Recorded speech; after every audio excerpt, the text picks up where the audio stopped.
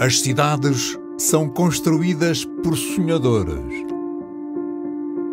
No eterno ciclo da vida e da morte, só os sonhadores conseguem ver para além do horizonte.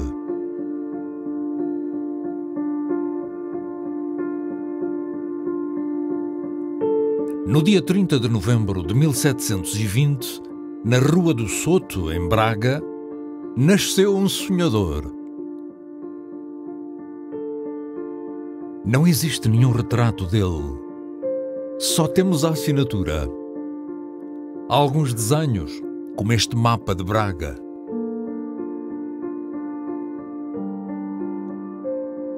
E, claro, as suas obras, que marcaram para sempre a histórica cidade.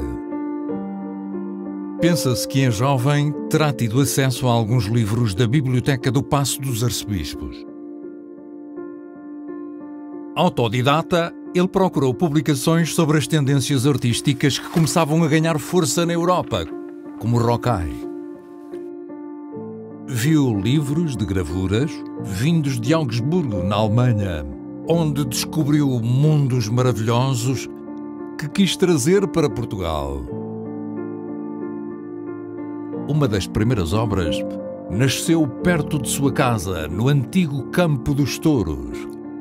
O novo arcebispo, Dom José de Bragança, irmão do rei Dom João V, tinha planos para transformar Braga, começando pela remodelação da sua residência. Mandou construir uma nova ala com vista para o Campo dos Touros. Pediu ao jovem André Soares, de 24 anos, para desenhar a fachada embelezada pela sua pedra de armas. O edifício, a atual Biblioteca Pública de Braga, oscila entre o gosto joanino e os novos valores do rococó. Nas traseiras, o jovem mestre desenhou também uma casa de fresco, em estilo rococó, que hoje se pode ver nas imediações do Santuário do Bom Jesus do Monte. Do outro lado do Campo dos Touros, numa cota significativamente mais baixa, o arcebispo pediu-lhe também para desenhar a casa do Senado da Câmara Municipal. Com um estilo tardo-barroco, as linhas retas da fachada são suavizadas por curvas, conchas e espirais. A entrada principal faz lembrar uma lareira ladeada por linhas graciosamente sinuosas. Neste período, Braga reforçou o seu crescimento para fora do centro medieval. Um dos novos edifícios foi o Palácio do Raio, também desenhado por André Soares.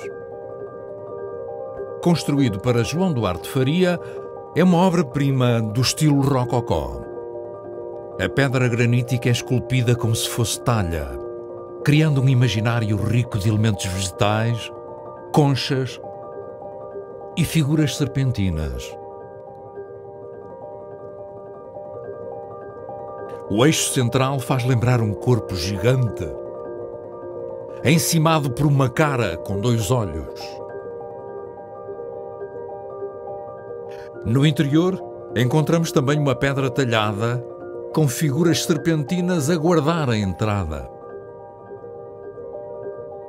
Um turco com um candelabro ilumina e vigia todos os que passam a escadaria central.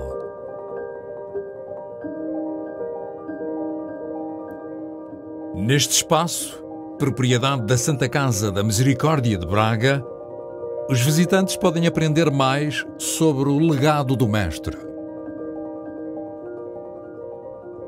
André Soares também interveio no Palácio dos Biscainhos. O seu dono, António Pereira Pinto de Essa, encomendou-lhe uma fonte no centro do jardim, com meninos em forma de sereia, montados em cima de golfinhos.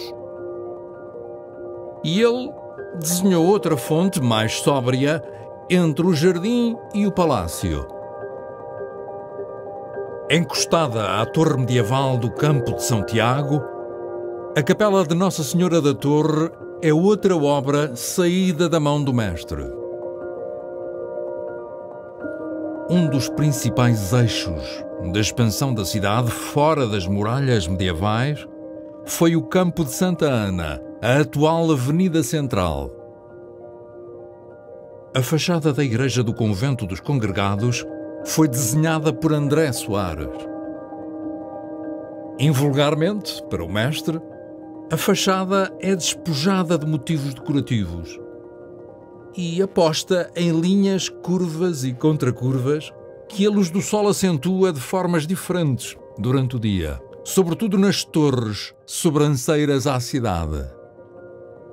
Ainda no mesmo edifício, o gaveto do lado nascente, com seis janelas, todas diferentes, mereceu também a assinatura do mestre. No interior do convento, desenhou uma pequena pérola, a Capela de Nossa Senhora Aparecida, também conhecida por Capela dos Monges. O pequeníssimo lanternim oferece uma atmosfera mágica.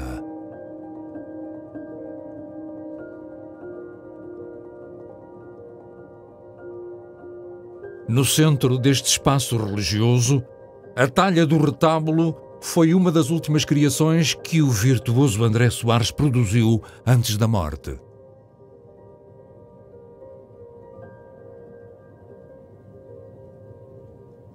A menos de 100 metros do convento, ele desenhou outro edifício, a Casa Rolão, num estilo claramente rococó. Para leste do campo de Santa Ana, havia outra zona que sofreu uma intervenção arquitetónica. No Santuário do Bom Jesus do Monte, fizeram-se alterações profundas na escadaria e em todo o recinto. André Soares fez uma doação de 900 reis à Confraria do Bom Jesus, que permitiu a construção das três capelas no Terreiro dos Evangelistas, que ele próprio desenhou. Talvez num gesto simbólico de projeto para a posteridade, desenhou também a Capela da Unção e vários outros elementos decorativos. Outra das suas intervenções importantes ocorreu na Capela de Santa Maria Madalena da Falperra. A Mesa da Irmandade, presidida por João Duarte Faria, proprietário do Palácio do Raio, pediu a André Soares para projetar a fachada da capela e os elementos do interior. E eis que surge mais um universo, rico de formas vegetais, de conchas e flores.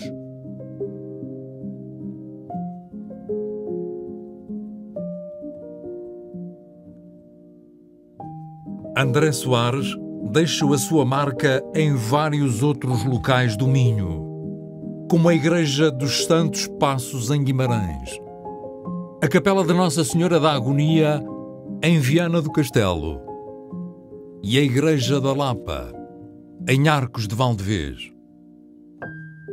O Mosteiro de São Martinho de Tibães, no Conselho de Braga, guarda a mais ambiciosa das suas obras em talha.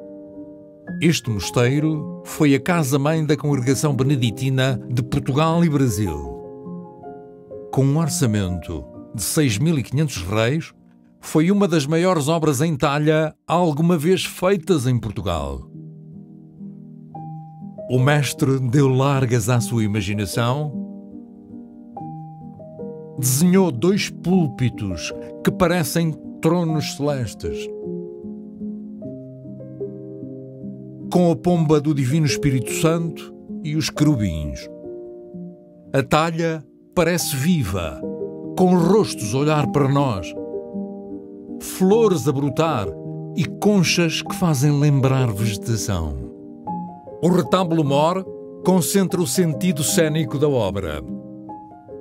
O olhar é atraído para um palco no topo do retábulo, como que a chamar-nos para entrar no céu.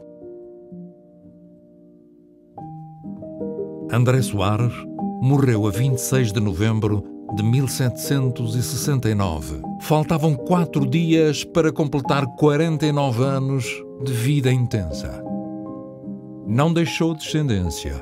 Inexplicavelmente caiu no esquecimento.